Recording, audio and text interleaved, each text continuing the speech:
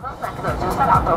Abbiamo caffè lavazza, cappuccino, cioccolata calda e tè con una barretta di cioccolato come Kit Kat.